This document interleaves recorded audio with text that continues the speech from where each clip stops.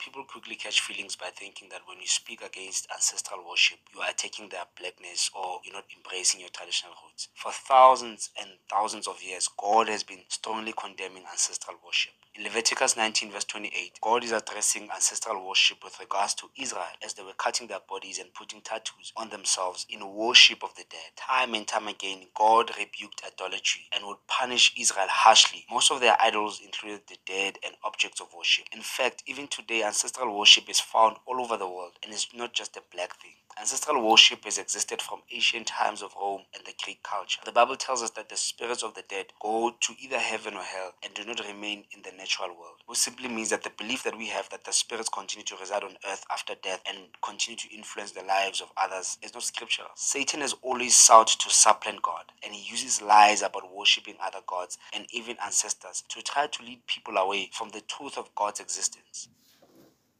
Gift Maseko. Thank you for that beautiful explanation. You know, that is a hill I am willing to die on a thousand times. This lie of ancestral worship, and it's practice in every culture, it needs to come to an end.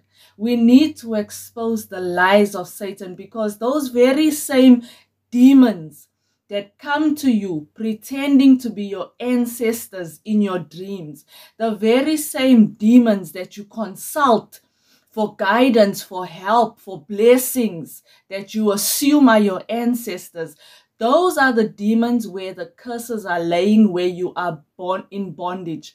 Those very same demons have covenant and legal right to destroy your life, to be present in your life. Because why? When they come to you in a dream, disguised as grandma, disguised as grandpa, disguised as mamngan, huh?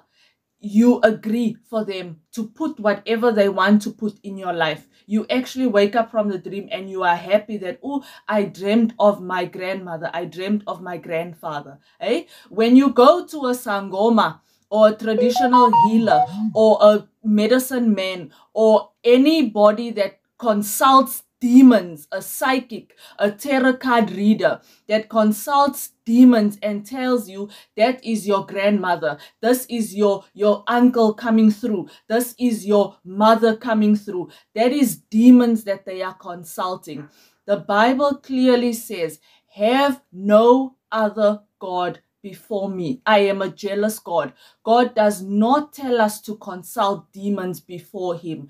Do not tell me you consult your ancestors and you worship God. You are deceived and you are lying to yourself. You are putting demons in front of God. So you consult Satan.